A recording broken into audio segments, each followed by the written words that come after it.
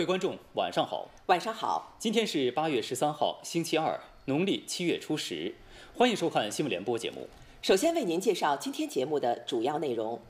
习近平总书记强调，要深入实施区域重大战略和区域协调发展战略，促进优势互补，各展其长。系列报道：锚定现代化改革再深化。今天播出：深化改革，激发活力，川渝双向赋能，高质量发展。国务院、中央军委公布实施新修订的军人抚恤优待条例。系列报道：权威访谈。今天专访国务院研究室主任黄守红。系列报道：高质量发展调研行。今天播出。福建三明不断推进集体林权制度改革，两山转化道路越走越宽。今年以来，全国快递业务量突破一千亿件。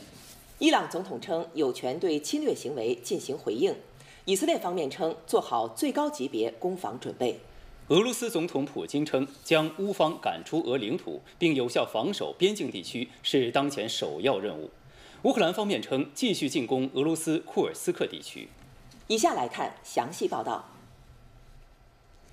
习近平总书记强调，要深入实施区域重大战略和区域协调发展战略，促进优势互补，各展其长。党的二十届三中全会对完善实施区域协调发展战略机制作出系统部署，提出推动成渝地区双城经济圈建设走深走实，迈上新征程。重庆、四川牢牢抓住发展机遇，积极推进成渝地区双城经济圈建设，更好发挥全国高质量发展的重要增长极和新的动力源作用。川渝高竹新区地处四川重庆交界，由四川广安市和重庆渝北区部分行政区域组成，是全国首个跨省域共建的新区。在前不久建成投用的新区政务服务大厅十多个服务专区里，川渝两地合署办公将百余项业务合并办理，为新区企业和百姓提供了进一扇门办两地事的便捷体验。截至目前，川渝高竹新区累计入驻企业数量比刚成立时翻了一番，初步建立起汽车装备产业集群，成为推动成渝地区双城经济圈建设走深走实的生动写照。改革不断深入，发展活力更足。党的十八大以来，习近平总书记心系川渝，对两地协同发展多次作出重要指示。总书记强调，建设成渝地区双城经济圈是党中央作出的重大战略决策。重庆、四川两地要紧密合作，不断提升发展能级，共同唱好新时代西部双城记。党的二十届三中全会提出，推动成渝地区双城经济圈建设走深走实，为进一步推动两地协同发展指明方向。成渝地区双城经济圈地处“一带一路”和长江经济带交汇处，承东启西，连接南北。当前两地广大干部群众认真学习贯彻落实党的二十届三中全会精神，高质量建设成渝地区双城经济圈。一体化赋能科技创新，川渝两地进一步加速集聚战略科技力量。目前，两地共享大型仪器设备一点三万余台套，布局建设国家重大科技基础设施十一个，开展二百一十九项原创性、颠覆性技术攻关项目。川渝技术合同登记成交额突破两千八百亿元。今年，两地还将在创新平台建设、技术协同攻关、创新成果共享等方面持续发力，一体化筑牢产业根基。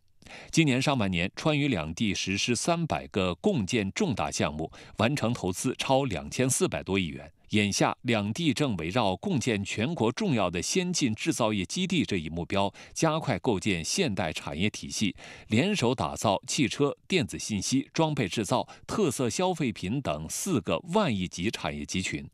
今年以来，川渝两地汽车产业发展规模持续扩大，川渝地区已建成我国第三大汽车产业集群，拥有四十五家整车企业和一千六百多家配套商，全域自主配套率超过百分之八十，汽车产量占全国百分之十一。我们积极响应成渝地区双城经济圈建设战略部署，抢抓两地汽车产业协同发展新机遇。充分发挥绵阳科技人才、电子信息、高端装备等方面的独特优势，助力川渝新能源与智能网联汽车高水平研发制造基地加速形成。一体化打造美好生活。川渝两地推出三百一十一项川渝通办事项，涵盖了就业、社保、就医、公积金等群众身边事。川渝跨省市一站式户口迁移办理时限缩短至最快十分钟。川渝百分之七十以上的二级及以上公立医疗机构实现电子健康卡互通互认，开通跨省异地结算定点医疗机构二点八五万家。一体化推进基础配套。当前，川渝间已建成铁路通道六条，已联合开工建设成渝中线、西渝、成达万等高铁通道四条，两地间建成及在建高速公路达二十一条。前不久，巴南高铁正式开通运营，让巴中到成都、重庆的时间都缩短至两个多小时。按照规划，到二零二七年，成渝地区双城经济圈四个一小时交通圈将基本建成。像我们去成都玩也非常的方便，不管是自驾上高速，还是 坐动车，附近都有几个火车站可以选，掏出手机就可以订一个小时以后的票，交通发展特别的快。共同唱好新时代西部双城记，重庆、四川两地将相互赋能、相向发展，加快建设具有全国影响力的重要经济中心、科技创新中心、改革开放新高地、高品质生活宜居地。深入学习贯彻习近平总书记重要指示要求，围绕党的二十届三中全会部署的改革任务，扎实推进区域一体化向更深层次、更宽领域深化拓展，加快打造具川渝辨识度和全国影响力的标志性改革成果，为全国改革大局作出新的川渝贡献。本台消息。国务院、中央军委日前公布新修订的《军人抚恤优待条例》，自二零二四年十月一号起施行。新修订的条例共六章六十四条，修订的主要内容是：一是坚持党的领导，明确军人抚恤优待工作贯彻待遇与贡献匹配、精神与物质并重、关爱与服务结合的原则。二是健全体制机制，适应国防和军队建设新形势新要求，完善评定烈士、发放残疾抚恤金等工作的军地衔接机制。三是增加抚恤优待措施，加大服务保障力度，规定抚恤优待对象享受社会保障、基本公共服务和相应的抚恤优待待遇，加大对特殊困难抚恤优待对象的关爱帮扶力度。四是优化抚恤优待程序，提高服务能力和水平，明确一次性抚恤金的发放程序，保障抚恤优待对象合法权益，细化残疾等级评定的程序，增加补办评定残疾等级的情形。党的二十届三中全会提出进一步全面深化改革的总目标。继续完善和发展中国特色社会主义制度，推进国家治理体系和治理能力现代化。如何把握这一总目标？今天的权威访谈来看记者对国务院研究室主任黄守宏的专访。黄守宏表示，党的十八大以来，全面深化改革取得了极不平凡的成就。党的二十届三中全会提出的进一步全面深化改革的总目标，与党的十八届三中全会提出的总目标相比，在前面增加了“继续”二字，这表明了我们党在改革上一以贯之的目标追求、一脉相承的实践要求和道不变、志不改的坚定决心。党的二十届三中全会提出的进一步全面深化改革的总目标，体现了党的二十大作出的战略部署。紧扣中国式现代化这个主题，彰显了围绕党的中心任务谋划推动改革这一党的领导改革的成功经验，也是对党的十八届三中全会提出的改革总目标的丰富和发展。黄守宏表示，当前进一步全面深化改革进入攻坚期和深水区，剩下的都是难啃的硬骨头，还有大量全新课题需要在探索中解决。同时，我们面临的国内外形势更为复杂，涉及的利益格局调整和制度体系变革更为深刻，所以推进改革的难度之大、要求之高，前所未有。我们讲，我们实现改革总目标有信心、有底气。就在于我们有诸多显著的政治和制度优势，有长期积累的丰富改革经验和雄厚的物质基础，得到广大人民的拥护和支持。习近平总书记的领航掌舵、英明领导，是我们实现改革总目标的最大信心、最大底气、最可靠的主心骨。在进一步全面深化改革总目标中，明确了到二零三五年的阶段性改革目标；七个聚焦的分领域改革目标，明确了到二零二九年完成决定提出的改革任务要求。黄守宏表示，这就形成了在全面深化改革总目标统领之下，有总有分、总分结合、系统完备的目标体系和推进改革的时间表、路线图、任务书。我们要以进一步全面深化改革总目标为统领，不断增强改革的系统性、整体性、协同性，推动改革啊不断取得新的成效。要更好把握深化改革的战略重点、优先顺序、主攻方向、工作机制和推进方式，更好制定和统筹实施各领域各方向改革举措，精准发力、协同发力、持续发力，形成合力，增强改革的整体效能。福建三明是我国南方重点集体林区，如何让绿水青山变成金山银山？三明给出的答案是改革。作为全国林业改革发展综合试点城市，三明不断推进集体林权制度改革，探索形成一批创新经验，两山转化道路越走越宽。在三明市江乐县长口村的生态文明展馆里，一张林业碳票规规整整地陈列在展台上。这张编号为零零零零零零一的中国第一张林业碳票，诞生于二零二一年，由三明市林业局制发给长口村民委员会。林业碳票是将林木的固碳量换算为减排量后，以票的形式发给林木所有权人，让林木的固碳功能可以作为资产进行交易。举行大型活动期间，乘坐各种交通工具，各种耗能都会造成碳排放，所以我们就购买林业碳票，抵消期间的一个碳排放，达到碳综合的目的。这张碳票卖了十四万元，每个村民都得到了分红。截至目前，三明市共开发林业碳票项目四十九个，碳减排量一百一十二万吨。生态产品实现交易变现，优良的生态换来了真金白银。不砍树也能致富，老百姓造林护林的劲头也更足了。我们守护了这么多年的生态，空气开始卖钱，大家应该有个同感，更加守护好我们的生态，把这碗生态饭让它越吃越香。在福建沙县农村产权交易中心，林权、林业碳票等各类交易品种正在线上竞价。今年初，沙县区富口镇河山村一千零三十五亩毛竹山场的二十年经营权在农交中心挂牌，六十万元是起竞价。经过九个意向方多轮激烈竞价，以一百零三万元价格成交，溢价率高达百分之七十一点六七。百分之九十九以上的都是通过线上竞价，这个资产。在市场上能值多少钱，由市场去决定，由投资人去决定，跟我们传统的在村里面的这种有很大差异。无论是买方还是卖方，只有把这个池子做大了，增值溢价才会明显。两山转化的通道不断拓宽，吸引越来越多的人参与进来。溢价交易让青山身价倍增，也让村民获得更多实惠。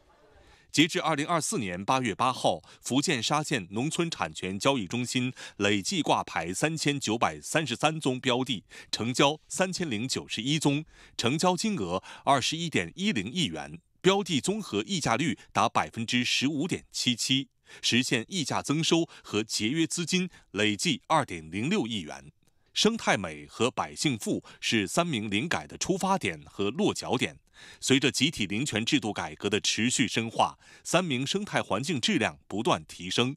以青山茂林换得富民增收，三明市走出了一条生态效益、经济效益、社会效益多赢的绿色发展之路，成为新时代绿水青山就是金山银山的生动实践。今年以来，我国全力推动乡村产业全链条升级，乡村产业振兴呈现良好势头。今年，农业农村部启动实施了农产品加工业发展行动。一至六月，规模以上农产品加工业企业实现营业收入八点七万亿元，同比增长百分之一点一。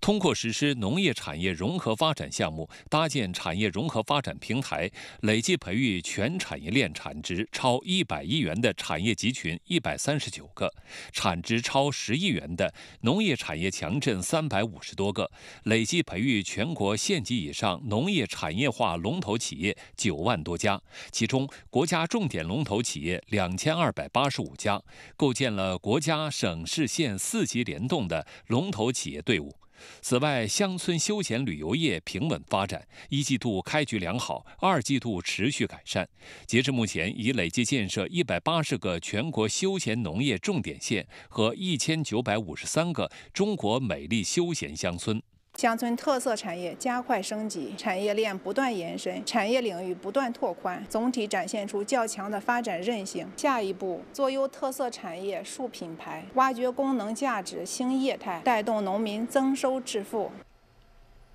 今年以来，我国可再生能源发展保持强劲增长，总装机已超过十六亿千瓦，不断实现新突破，为我国发展提供强劲绿色动能。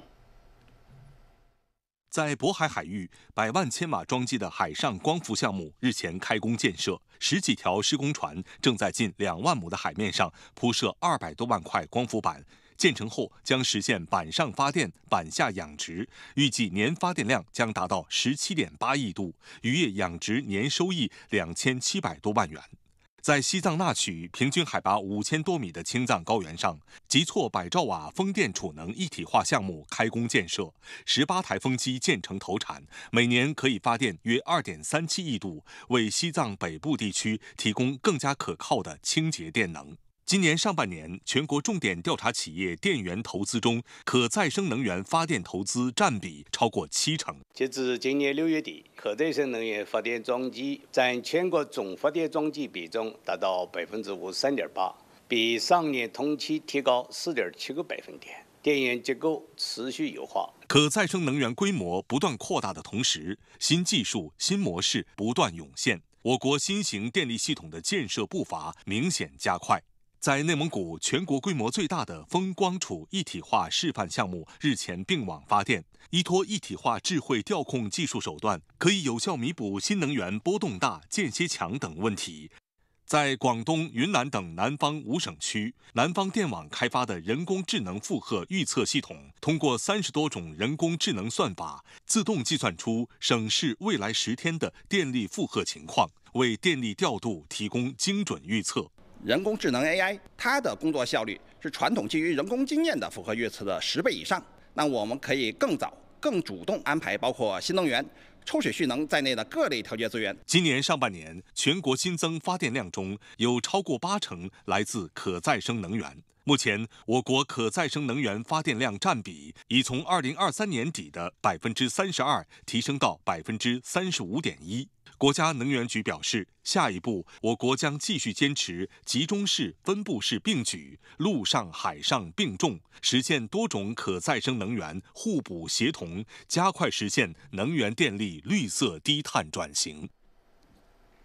各地紧抓工期，加快各项重点工程施工建设进度，确保关键节点如期完工，助力高质量发展。交通基础设施建设不断完善。在陕西延安，陕北革命老区的首条高铁西安至延安高铁建设取得新进展，全长十三点六公里的太康隧道日前贯通。作为沿线高风险隧道，太康隧道的贯通为后续无闸轨道的施工奠定了基础。一批水利工程设施正加快推进。在广东，国家重大水利工程环北部湾广东水资源配置工程加紧施工。目前，全线十七个标段加快推进。环北部湾广东水资源配置工程总长超四百九十公里，沿途串联十二座水库，惠及一千八百多万人口。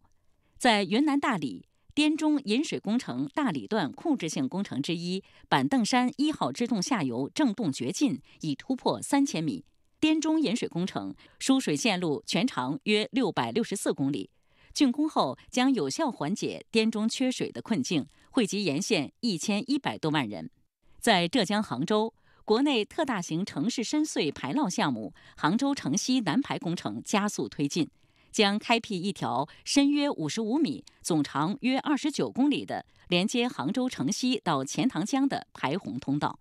我们这个项目相当于建设一条地下输水的高速公路，在发生洪涝灾害的时候，将水排到钱塘江里；在非汛期，将优质的钱塘江水经净化处理后排入城西河网。清洁能源重大项目加紧建设，在青海海南州塔拉滩光伏发电园区，共核一百兆瓦塔式光热项目正加快施工。项目投产后，预计年均发电量二点三亿千瓦时。每年可节约标准煤约六点八一万吨，减排二氧化碳约十八点五四万吨。在甘肃，西电东送华能陇东能源基地二批新能源项目正式开工建设。项目按照风光同场方式进行，通过风光能源互补来提高运行的可靠性，并通过特高压线路将绿色能源送往山东。项目投产后，年发清洁电量超六十八亿千瓦时。可满足约二百二十六万个家庭一年的用电量。记者今天从国家邮政局获悉，今年以来，我国快递业务量已突破一千亿件，比二零二三年达到千亿件提前了七十一天，月均业务量创历史新高。在贵州龙里县高堡村，村民郭芳收到了从广东佛山发货的家具。与此同时，快递企业预约的师傅也同步上门安装。郭芳动动手指就能享受快递服务的背后，是我国不断完善的综合立体交通网和县乡村三级物流体系。截至目前，我国综合立体交通网超六百万公里，累计建成一千二百多个县级公共寄递服务中心和超三十万个村级寄递物流综合服务站。如今，我国每天约四点四亿件快递包裹中有超一亿件在农村地区流动。最新数据显示，今年以来，我国快递业务量已突破一千亿件，月均超一百三十亿件，创历史新高。随着我国经济回升向好，消费需求保持活跃，快递业积极拓展进场服务等发展新领域，折射出我国经济发展的活力与韧性。下面来看一组联播快讯。中国人民银行今天公布的数据显示，七月末社会融资规模存量三百九十五点七二万亿元，同比增长百分之八点二，增速比上月高零点一个百分点。其中，对实体经济发放的人民币贷款余额为二百四十七点八五万亿元，同比增长百分之八点三。金融部门持续发力支持实体经济。中国人民银行十三号新增十二个省区市的支农支小再贷款额度一千亿元，支持受灾严重地区防汛抗洪救灾及灾后重建工作，加大对受灾地区的经营主体，特别是小微企业、个体工商户以及农业养殖企业和农户的信贷支持。由中央广播电视总台、山东省人民政府共同主办的“二零二四山东夏日以旧换新消费季暨国潮珍品馆烟台周”昨天在山东烟台启动。活动依托总台融合传播优势和媒体平台资源，助力山东创新消费场景，激发消费活力，推动经济高质量发展。总台国潮珍品馆烟台城市分馆同步揭幕。今天，我国自主研发的海上综合勘探平台“华东院三零八号”在山东半岛海上风电场完成首次勘测，这是我国首座可在七十五米水深条件下作业的海上自升式综合勘测试验平台。平台集智能钻探、原位测试、土工试验及物探调查于一体，填补了我国深远海风电勘测重大装备国产化的空白。近日，阳曲水电站三台机组转轮全部吊装完成。阳曲水电站位于青海海南州，总装机容量一百二十万千瓦，作为我国首条正负八百千伏清域直流特高压外送通道的重要支撑调峰电源。建成后，水电站平均年发电量达到四十七点三二亿千瓦时，每年可节约标煤约一百六十六万吨。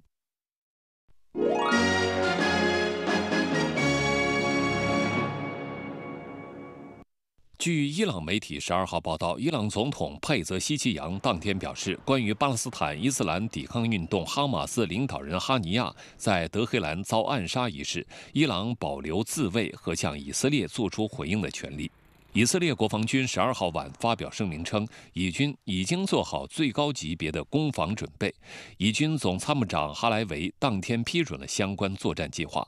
美国白宫方面十二号称，伊朗等方面可能最早在本周内对以色列发动袭击。据巴勒斯坦通讯社今天报道，大批以色列人进入位于耶路撒冷老城的阿克萨清真寺大院，引发巴勒斯坦民众不满。巴勒斯坦外交与侨民事务部今天发表声明说，以方的挑衅行为是非法的，可能导致事态进一步升级。此前，巴以围绕阿克萨清真寺曾爆发多次激烈冲突。离以边境地区的冲突也在持续。以军十二号袭击黎巴嫩南部多个目标，黎方称袭击引发大火，造成三人受伤。黎巴嫩真主党武装称，该武装人员打击了以军基地、间谍设施等目标。鉴于中东地区局势持续紧张，法国航空公司、德国汉莎航空集团等均表示将继续停飞前往中东地区多个城市的航班。俄罗斯总统普京十二号就俄罗斯库尔斯克州局势召开会议。他表示，俄罗斯将坚决回应乌方在边境地区的一系列挑衅，将乌方赶出俄领土并有效防守边境地区是当前首要任务。库尔斯克州代理州长斯米尔诺夫在会议上说，乌军对该州的袭击已经造成十二人死亡，一百二十一人受伤。乌军目前控制了该州二十八个居民点，当地大约两千名居民情况不明。俄国防部十二号称，在过去一昼夜，俄军在库尔斯克方向击退乌军七轮进攻，挫败敌方机动小组突破并深入俄领土的企图。乌克兰武装部队总司令瑟尔斯基十二号表示，目前乌克兰武装部队控制了俄罗斯约一千平方公里的领土，乌军正继续对库尔斯克地区采取进攻行动。乌克兰方面还称，乌军在哈尔科夫、波克罗夫斯克等地区与俄军继续交战，击退俄军多次进攻。国际原子能机构专家十二号进入扎波罗热核电站冷却塔，评估此前一天发生的火灾的影响。专家评估认为，核电站的核安全没有受到影响，冷却塔区域核辐射水平没有升高的迹象。下面来看一组国际快讯。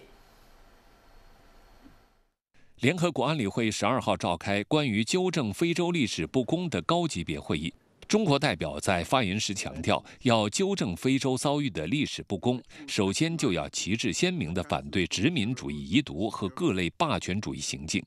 西方国家应当真正承担起历史责任，停止外部干涉、施压制裁等错误做法，将非洲的未来交回非洲人民手中。中方愿同非洲一道，传承友谊，延续合作，共同构建高水平中非命运共同体。受高温、强风等因素影响，希腊多地林火肆虐。今天，希腊首都雅典附近的大火仍在燃烧，火灾已造成一人死亡，六十多人受伤。大火还在多地烧毁房屋、车辆和农田，超过三十个地区的居民被迫撤离。当地时间十二号，美国加利福尼亚州洛杉矶发生里氏四点四级地震，震源深度约十二公里。从洛杉矶向南到圣迭戈等加州多地有明显震感。在帕萨迪纳，地震导致市政厅大楼管道爆裂，约二百名员工撤离。据美国媒体十二号报道，此次地震所处区属于当地最具破坏威胁的断层系统之一。六月以来，该区域发生多次弱震或有感地震。日本气象厅今天表示，民众需继续对东部太平洋、南海海槽发生大地震可能性增高保持警惕，并呼吁从茨城县至冲绳县的七百零七个行政区为可能发生的大地震做好准备。今天的新闻联播播送完了，感谢收看。更多新闻资讯，请关注央视新闻客户端；更多移动视频，请下载央视频。观众朋友，再见，再见。